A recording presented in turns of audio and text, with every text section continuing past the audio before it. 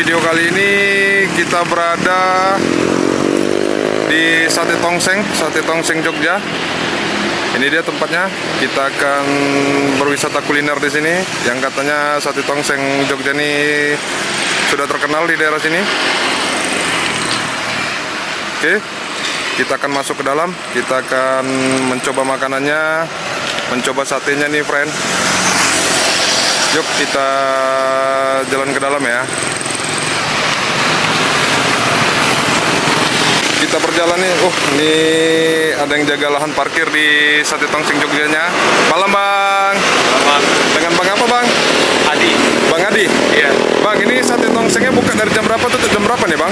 Kalau hari biasa buka dari jam 10 pagi sampai jam 10 malam. Sampai jam 10 malam ya, Bang.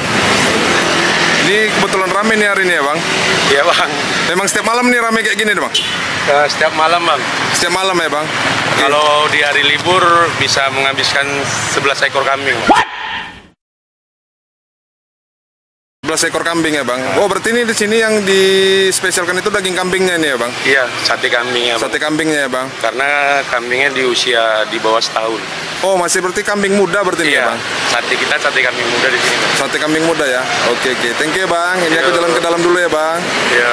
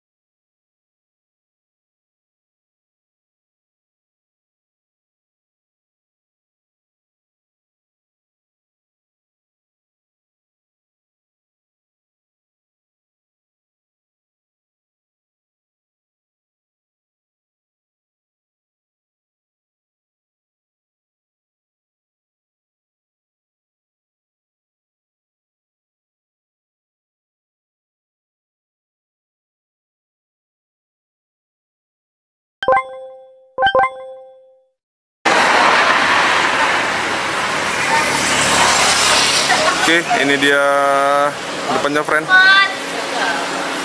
Ini kebetulan di depan lagi bakar satenya nih. Karma kena di dapur.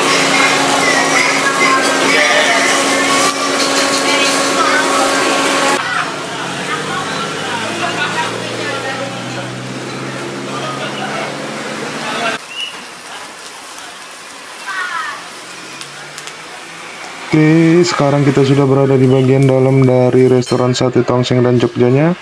Ini di bagian tengahnya lumayan ramai nih pada malam hari ini yang makan dan minum di sini. Kita akan memesan sate dan tongseng. Jadi sate dan tongseng ini merupakan dua makanan yang berbeda dan yang memiliki khas masing-masing nih di sini.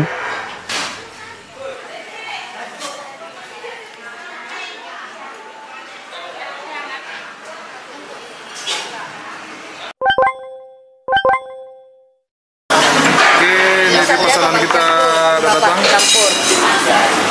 Bang, mau nanya deh bang. Tadi bedanya tongseng sama sate apa nih bang? Kalau ada yang tongseng seperti apa? Kalau tongsengnya dimasak pakai kecap. Jadi seperti pakai kuah gitu? Ya. Gulai deh. Gimana? Kuahnya gulai. Kuahnya gulai gitu ya?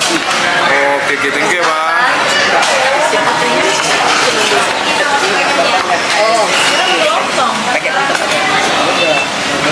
Oh, sapi. Itu sapi lembu ya. Ini yang mix. Bang ini Oke, kita mesan di sini nih bisa di mix, bisa di mix ini ya kak? Yes. Bisa di mix yang sate kambing sama lembu ya. Walaupun di sini andalan utama itu daging kambing ya. ya.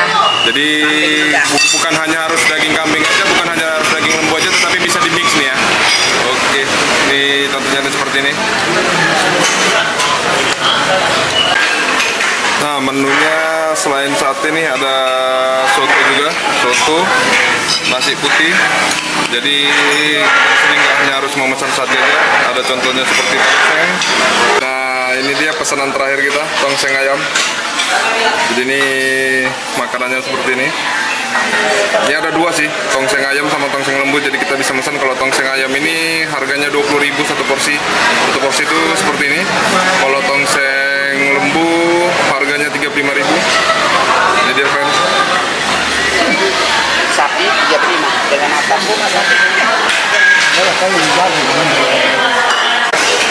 Nah, ini bersama keluarga nih. Ada Bang Noel, Bang Kembar. Halo Bang. Luar biasa. ada Bang Uda, ada Kakak Reta, Kakak Kembar. Lagi makan apa nih Kak? Sate. Lagi makan satu tongseng. Kayak mana satenya? Mantap. Mantap. Ini yang soto. ini yang soto ya. Ini ayam. Ini yang ayam goreng ya. Iya. Oke, ini ada nantulang, ada tulang. Goreng. Sate. Gimana satenya? Enak nih, Mak? Hmm, mantap. sate sapi Ada tulang. Mantap satenya, Lang? Mantap ya. Oke.